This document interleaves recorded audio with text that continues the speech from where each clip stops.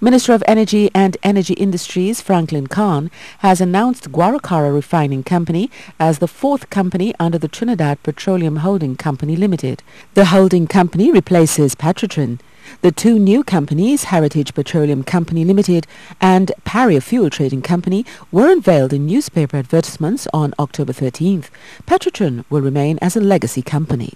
Communications Minister Stuart Young said if the decision was not made, Petrotrin had the potential to collapse the economy in Trinidad and Tobago.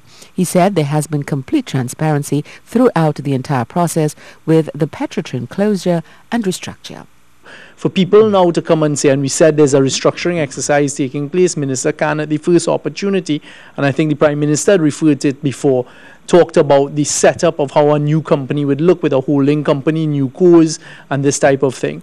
Then the names, there's a process for the incorporation of companies. You have to have approvals of names, etc. That's a legal process. When that was done, Minister Khan has provided the information, etc.